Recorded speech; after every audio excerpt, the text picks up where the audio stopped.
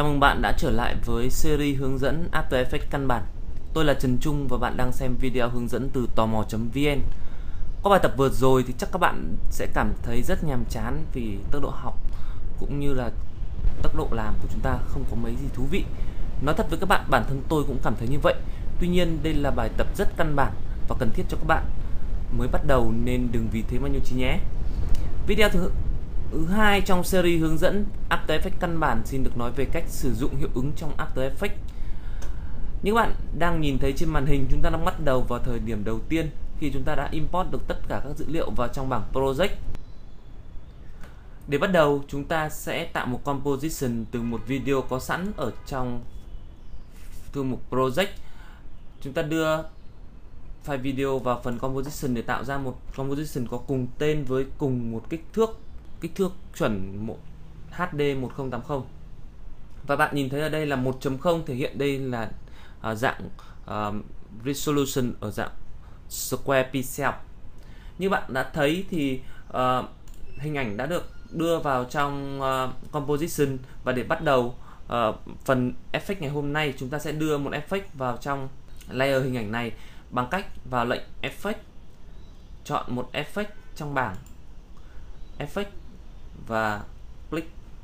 Ví dụ tôi sẽ chọn lệnh level ở phần color correction. Như các bạn đã thấy ngay khi tôi chọn lệnh color ở color correction tôi đã um, trên màn hình đã hiện ra phần effect control và của layer này. Và ở effect control này chúng ta sẽ thấy hiệu ứng được sắp xếp theo cột ở phía bên tay trái của màn hình. Ngoài cách sử dụng lệnh trên thanh menu uh, chúng ta cũng có thể tìm tìm và chọn effect thông qua cửa sổ effect and preset. Nằm ở phía bên tay phải màn hình nếu trong trường hợp bạn không nhìn thấy cái cửa sổ này thì bạn có thể vào lệnh Window và chọn Effect and Preset phím tắt là Ctrl 5 tại đây bạn có thể chọn lệnh Level bằng cách gõ vào phần mục Search. Bạn sẽ thấy ngay khi bạn gõ level, tất cả các preset nào, preset và effect nào có chữ level sẽ được hiện thị ở bên tay phải, ở dạng file. Để gắn hiệu ứng này vào lớp trên composition, chúng ta sẽ nháy kép vào hiệu ứng đó hoặc cầm hiệu ứng đó ném vào layer chúng ta muốn như thế này. Và bạn thấy cửa sổ effect control hiện ra giống hệt như cách chúng ta sử dụng ở trên effect của menu.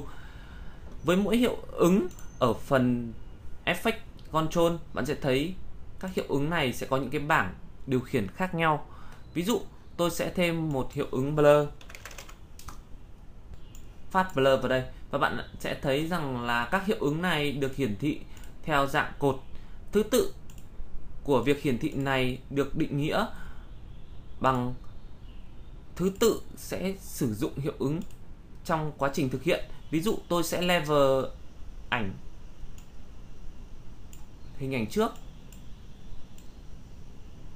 Sau đó tôi sẽ blur ảnh sau.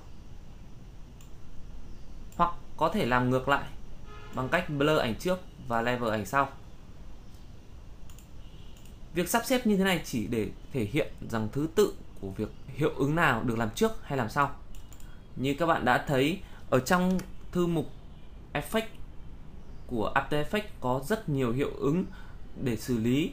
Vì thế, cách đơn giản nhất để bạn có thể hiểu toàn bộ các hiệu ứng này đó chính là bạn tạo ra một hình ảnh, file ví dụ, sau đó thử gắn từng hiệu ứng vào một, bạn sẽ thấy sự khác biệt. Ví dụ, tôi sẽ gọi lệnh cc vector blur, bản thân tôi cũng không biết nó là gì. Tuy nhiên, bạn có thể thay đổi các thông số ở trên khu vực này, bạn sẽ thấy sự khác nhau giữa việc phát Blur và CC Vector Blur.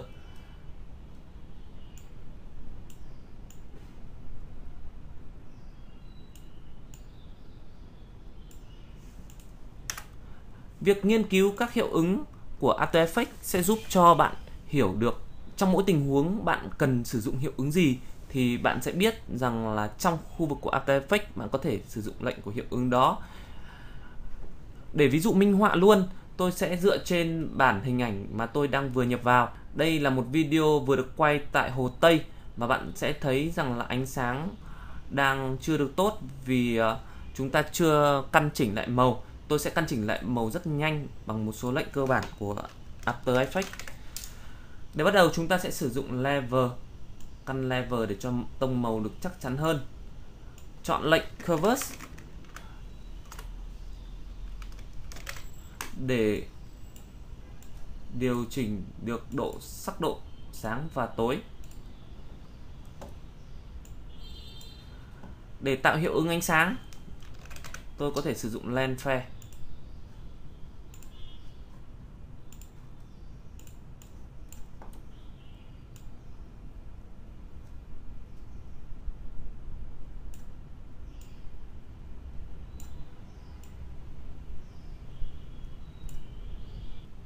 Như các bạn đã thấy, chỉ cần vài thao tác cơ bản, chúng ta đã có được một bức hình đã đẹp hơn rất nhiều so với bản gốc ban đầu. Để có thể xem được trước và sau khi sử dụng hiệu ứng, bạn sẽ nhìn thấy ở khu vực timeline có phần FX. Tại đây thể hiện rằng là layer này đã sử dụng hiệu ứng và biểu tượng FX hiện lên để tắt FX tức là để tắt hiệu ứng trong layer này chúng ta tích vào phần hiệu ứng. Bạn sẽ thấy đây là bức ảnh ban đầu và đây là bức ảnh sau khi đặt hiệu ứng. Phần 2 của series cơ bản đến đây là kết thúc. Thông qua phần này, bạn đã có thể tạo được các hiệu ứng trong video mà bạn muốn. Chi tiết về việc sử dụng của từng hiệu ứng, chúng ta sẽ thực hành trong các bài tutorial khác. Bạn nhớ đón xem phần tiếp theo trong chuyên đề căn bản của tò mò.vn là tạo chuyển động trong After Effects. Tạm biệt, tôi là Trần Trung và đây là tò mò.vn.